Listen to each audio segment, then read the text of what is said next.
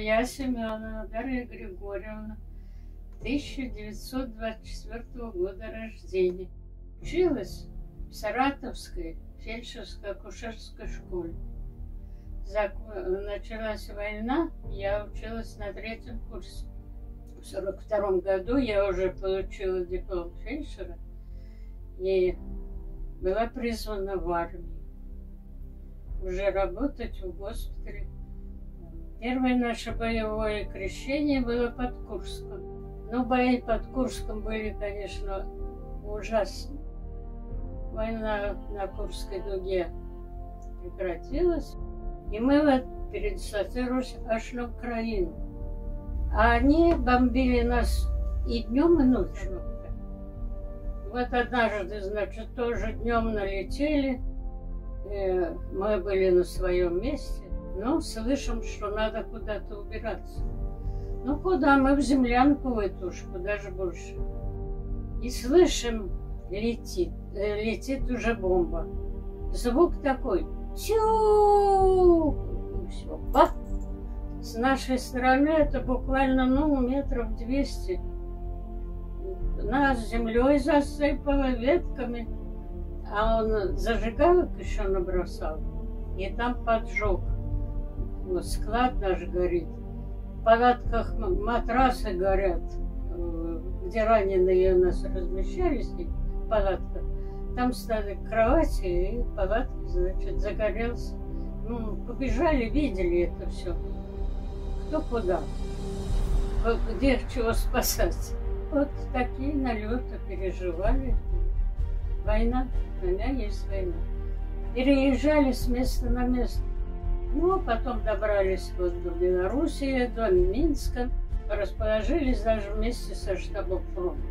Каждый день мы должны обязательно доставить донесение о прибытии раненых и убытии раненых иду, а тут тоже платформы, там разгруженные вещи. Просто солдат мне говорит, девушка, девушка, подождите.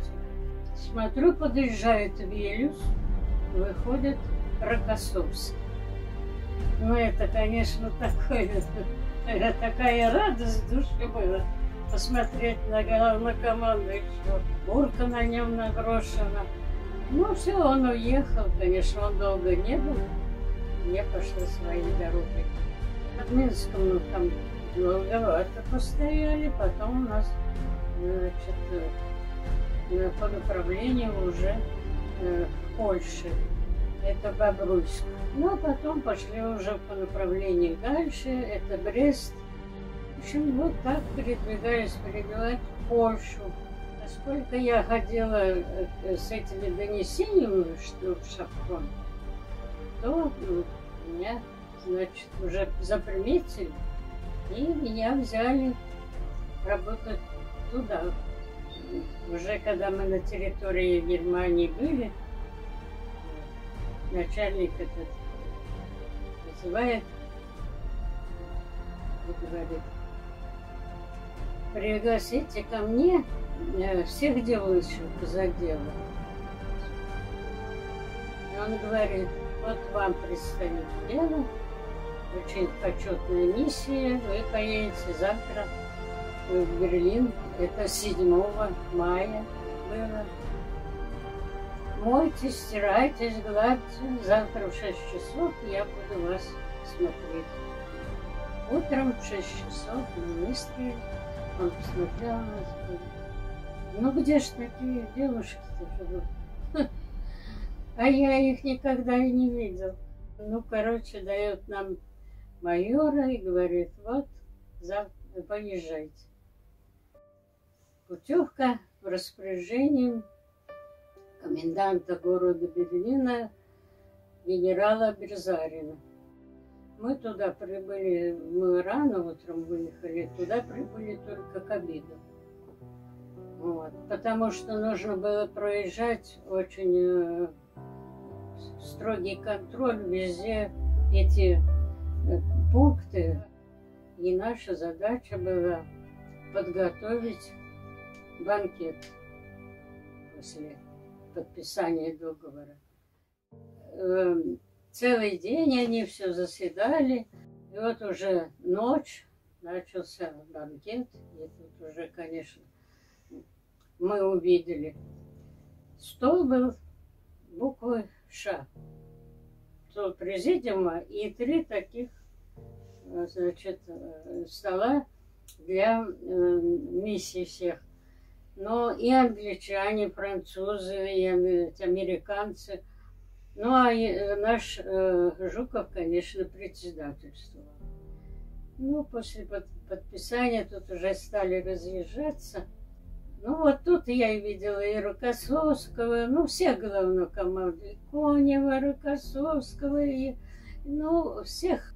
И танкисты, и летчики, и артиллеристы, всех рода войск. Ну, вот так я попала на этот банкет. Но э, дело в том, что банкет закончился, все уже разошлись, ну, надо что-то покушать, хоть что-то схватить. Мы целые двое суток, можно сказать, толком не покушали. Ну, я побежала, от стола нету ничего, побежала на кухню, думаю, там может что-то. Там тоже ничего уже нет, осталось сметана немножко осталось там в банке. Я думаю, как же мне вино? Ну, я в зал опять схватила графин и в графин эту сметану налила и бегу, а уже майор кричит по коням, по коням. Ну, в общем, короче говоря, этот графин я увидела. Он у меня, вон он стоит. Вот в этом графине была, была сметана. Потрогать. Серебро, конечно. Ну, вот так война закончилась. Это в госпитале вот заслужила на все время на доске почета. Вот фронтовые мои подруги. Это родители. Тут папа вот здесь, мама вот в платочке. Это вот тоже детский дом.